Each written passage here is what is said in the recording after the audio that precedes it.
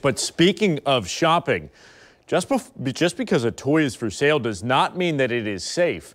Any toy made for children under the age of 12 is supposed to pass third-party safety testing in order to make sure that it can make it onto store shelves safely.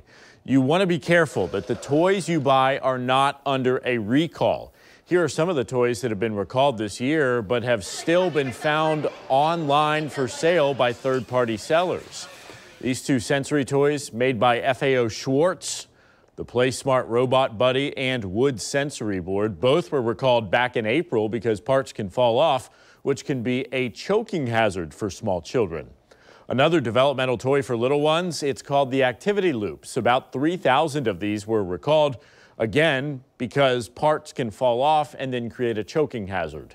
The recall for this was announced in June.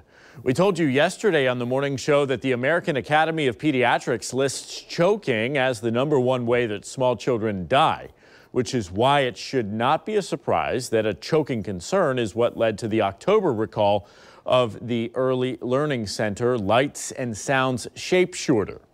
The red cube can come, off, releasing a small white ball that a child could easily put into their mouth and then potentially swallow. For older kids, Eight versions of the Kidoozie play tent and playhouse have been recalled. More than 250,000 of the fabric toys did not meet fire safety standards. Even though it was recalled in July, there are still some online retailers listing these items for sale.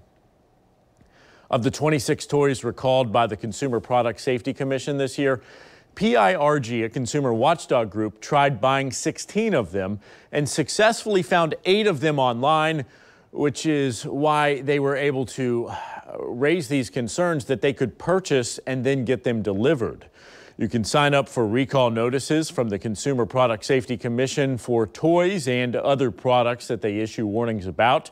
If you want to check for items you've bought, every recall issued by the CPSC can be found on its website cpsc.org.